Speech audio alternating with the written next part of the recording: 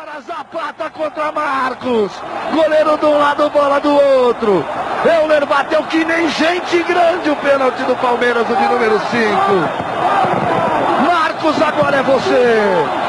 A galera repete e grita. Fora, fora, fora. A outra foi na trave. A galera grita fora. Zapata vai para cobrança. De joelhos os jogadores do Palmeiras. Aí Zapata para cobrança. Partiu Zapata, sai que é sua, Marcos. Bateu para fora!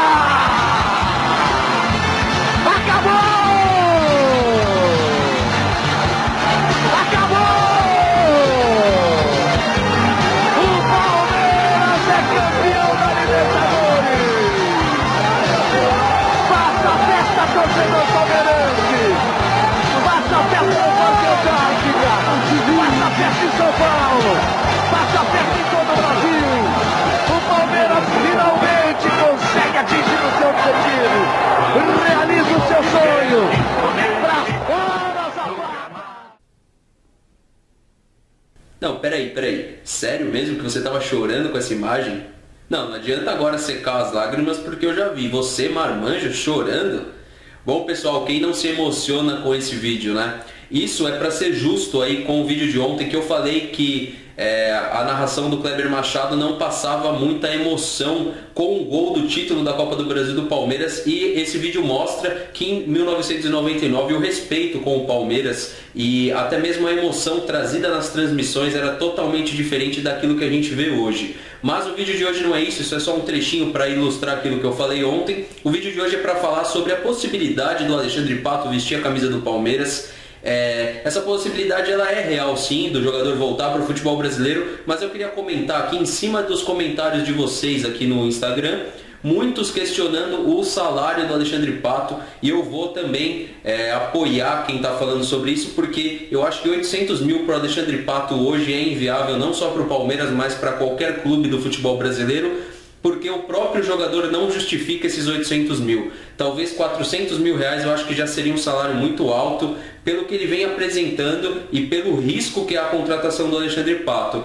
Obviamente, é, é, é, a saída dele para o Chelsea foi muito mais um teste e muito mais é, uma questão empresarial para o Pato agora conseguir acertar aí com qualquer clube com um custo bem menor do que o clube teria que arcar aí quando ele tinha o vínculo com o Corinthians. Então, a possibilidade da contratação do Alexandre Pato ou da volta do Alexandre Pato para o Brasil é uma possibilidade real, só que 800 mil reais, por mais que saia o Lucas Barrios aí para o Internacional, que parece que o Internacional chegou a oferecer o Hever e não sei se foi o Valdívia que foi envolvido na troca, mas eu acho que por mais que saia o Lucas Barrios, eu acho que não vale a pena trazer o Alexandre Pato nesse valor. Eu acho que o jogador tem que entender que o piso salarial no Brasil é mais baixo e o Palmeiras se adequou a esse piso salarial mais baixo, né? Nenhum jogador do elenco ganha salários muito. Não existe uma diferença de salários muito grande e eu acho que isso é importante para manter aí é, um elenco motivado e não pode ter um jogador ganhando um milhão, outro ganhando 100 mil, por exemplo, no elenco, ou até menos que 100 mil, que esses meninos que sobem da base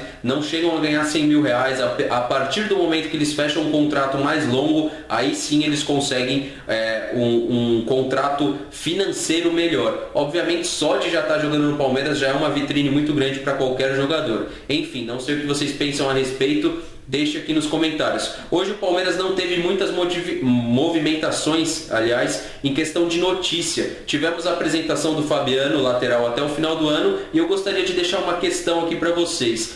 É, Fabiano Jean ou o próprio Danilo Tietchan na lateral direita? O que, que vocês pensam a respeito desses três jogadores? Alguns questionam o Jean, que não consegue fazer cruzamento na linha de fundo, mas muitos elogiam ele na função tática e defensivamente. O Danilo Tietchan já é um jogador que é mais agudo, que busca mais o drible, e o Fabiano é um jogador tático também, que não tem muito, não tem um apoio muito bom, mas defensivamente falando, ele é um jogador mais útil, também atua como quarto zagueiro. Não sei o que vocês pensam a respeito de tudo isso, deixa aqui nos comentários. Para você que não é inscrito no canal, peço que se inscreva. Para você que já é inscrito, obrigado novamente por assistir. Tamo junto, até a próxima e valeu. De alguma maneira, vocês no vestiário, enfim, torcem para que o Santos conquiste a Copa do Brasil, para que esse G4 vire um G5 e de alguma maneira facilite as coisas para vocês? Bom, é, independente do que vai acontecer com o Santos ou não, é, nós temos que fazer o nosso trabalho. É, se você perguntar para quem eu vou torcer, sim, o Santos é um grande clube, mas vou torcer para o Palmeiras. Espero que ele ganhe, porque o, é, o, Paulo Nobre é um cara muito do bem, é um cara é, muito inteligente. Ele fez um ótimo trabalho no Palmeiras, mas nós temos que depender de nós, do nosso elenco.